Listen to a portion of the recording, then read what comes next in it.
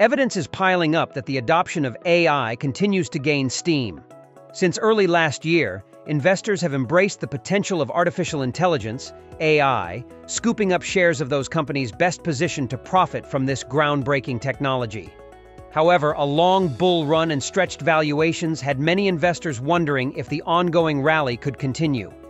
In recent weeks, some have taken a step back, looking for further evidence the accelerating adoption of AI would continue. With that as a backdrop, as of 1.08 p.m.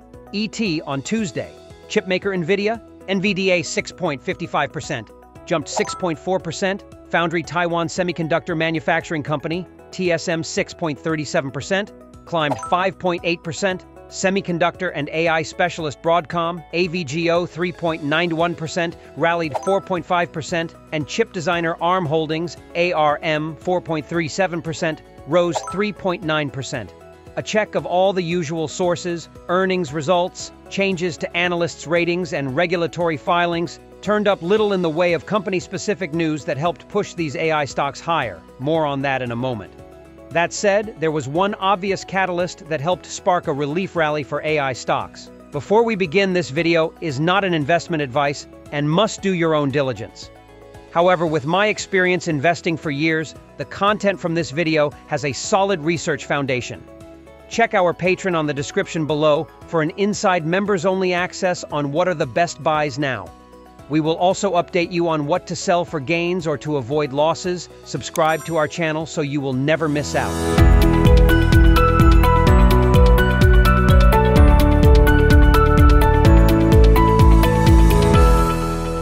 Solid AI-fueled results.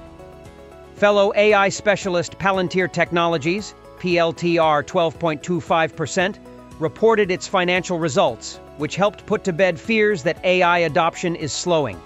In the second quarter, the company generated revenue of $678 million, up 27% year over year, resulting in adjusted earnings per share, EPS, of $0.09.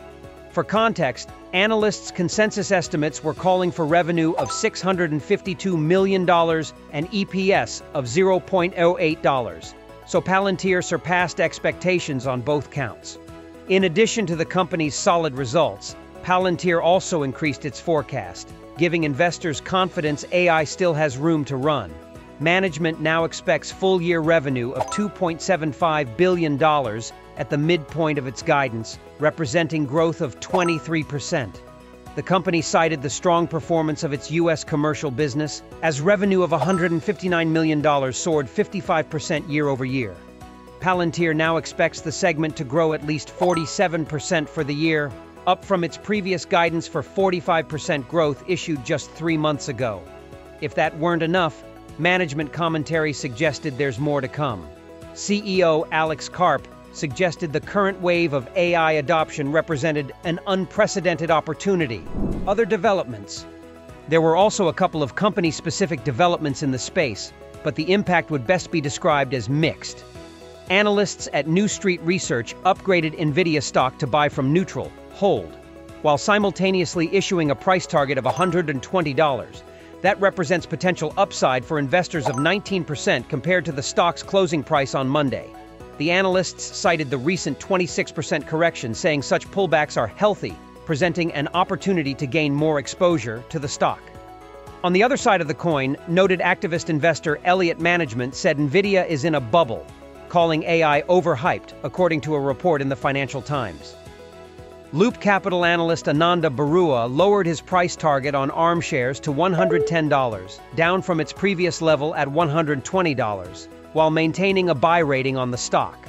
He cited the company's inline financial results in the June quarter and inline guidance for the September quarter, though he believes the overall thesis is intact. While it's clear that all AI companies can't be painted with the same brush, Palantir's robust results show that businesses are continuing to migrate to the technology, suggesting the trend is ongoing. The recent sell-off has moderated some valuations, but value investors continue to be put off, a view I would suggest is myopic. High-growth stocks, like those involving AI, generally command a higher multiple than average, so using other valuation metrics can be informative. For example, ARM Holdings, NVIDIA, Broadcom, and TSM are selling for 73 times, 39 times, 31 times, and 24 times forward earnings, respectively. For value-minded investors, TSM might be the only one worth buying, but this fails to account for the accelerating growth trajectory of these companies resulting from AI.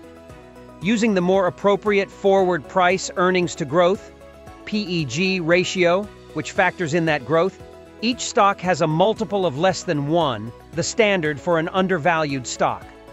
Furthermore, the use of generative AI has only just begun, with the adoption curve potentially lasting years. The best strategy for investing in this type of groundbreaking technology is to buy the best AI-related companies you can find and hold on for the wild ride ahead. Give us a like if you like our video, subscribe and ring the bell to never miss out. Check our Patreon for an inside look on what are the best buy and sell stocks every week.